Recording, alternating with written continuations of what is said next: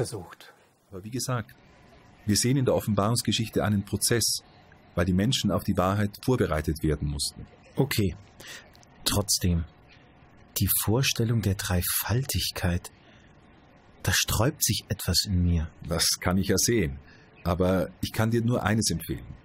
Denke nicht an drei, ohne an die Einheit zu denken. Denke nicht an die Einheit, ohne an die Dreiheit zu denken. Das klingt paradox und schwer. Und das ist es auch. Aber vergiss nicht, für unseren Verstand bleibt Gott so oder so unfassbar. Hm. Doch eines, etwas Wichtiges verstehen wir erst, wenn wir Gott als Dreifaltigkeit erkennen. Nämlich, dass Gott die Liebe ist. Das verstehe ich nicht. Auch wir Muslime sehen in Allah Liebe. Unter den Namen, mit denen wir Allah anrufen, befindet sich auch Al-Wadud, der Liebende.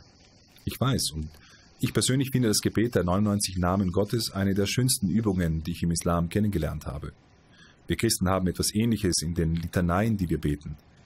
Aber gehe einmal die Liste der 99 Namen durch. Was betonen fast alle?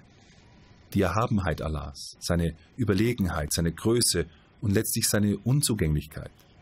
Sogar Al-Wali, Freund oder Al-Wadud, der Liebende, erscheinen im Kontext der Suren, wo sie vorkommen, eher wie Beschützer oder der Zärtliche.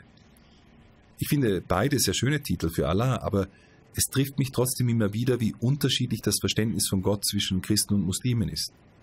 Muslime betonen die Größe Allahs, dem man sich unterwerfen muss, wie ein Diener seinem Meister, wie ein Sklave seinem Herrn.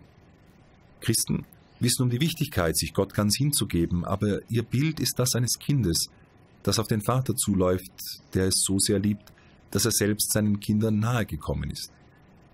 Und darum geht es mir. Die Liebe Gottes zu den Menschen können wir letztlich nur verstehen, wenn wir erkennen, dass Gott schon in sich selbst, ganz ohne jede Schöpfung, eine ewige Gemeinschaft der Liebe ist. Das funktioniert nicht, wenn Allah in sich einzig und allein ist. Es geht nur, wenn der eine Gott dreifaltig ist, Vater, Sohn und Heiliger Geist. Eine letzte Frage.